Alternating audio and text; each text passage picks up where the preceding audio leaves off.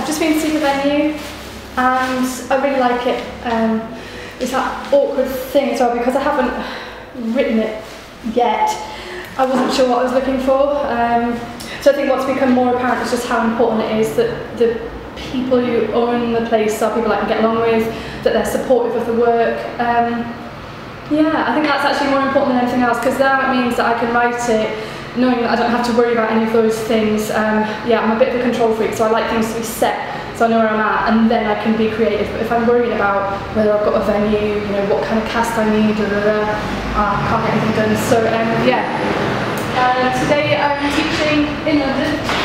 Um, I'm going to be meeting lots of lovely people who come to me for singing lessons and um, you know, they'll probably make up some of the cast to be honest with you uh, if they want to be involved in it so I'm looking forward to actually having written the piece so that I can be a little bit more open about about what I need um, and so I can give those opportunities to people who who really want them, you know, because uh, it's an opportunity not even in the sense of this industry, but in the, sense of being a part of some work that actually means something that's political uh, and that has a connection to people on a um, on a personal level. Probably their friends, you know, friends, family, everyone I know is uh, in some way touched by the gay community or a part of the gay community, and you know that's that's really what this piece is for is to support the gay community but also as well to educate us all of us. Uh, it's not so long ago is it? In 1992 and I think it's incredible where we're at now. It's wonderful. I mean I'm you know really taken aback by how far we've moved in comparison to some other things that have barely moved at all.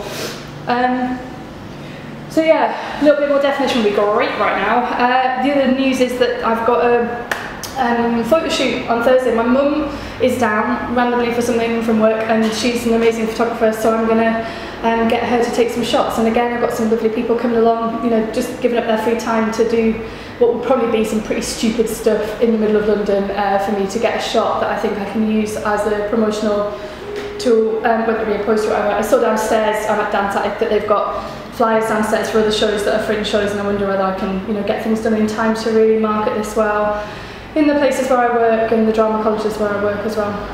Um, yeah, so for now I have uh, cake and tea and I have 10 minutes uh, before I have to start work. So I'm going to enjoy that. That's what I'm going to do. Bye!